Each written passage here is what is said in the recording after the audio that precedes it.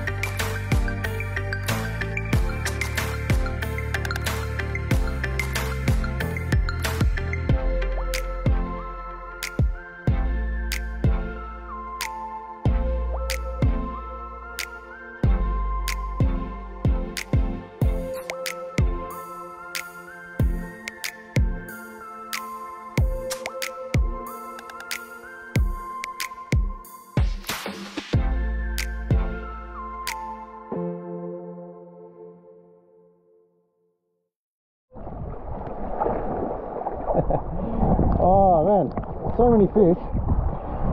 And big ones too, but we can't. We're trying to give it up catching them. Not because we can't, but we've just we've got enough. We've got plenty of food at camp, so it's not really much point catching more. We don't really have any ice to put them on. But there's, yeah, there's a big pot of dolphins just right over there. Oh, they're not going to jump out now. oh yeah, see? Yeah. And you can hear them in the water chattering. Yeah, well, we, when you're under the water, you can hear them clicking and and squealing. I don't know what, how you explain how they sound, but yeah, you can hear them talking and stuff the water, pretty cool. Oh man, so good. Such a good spot. Anyway, catch you later.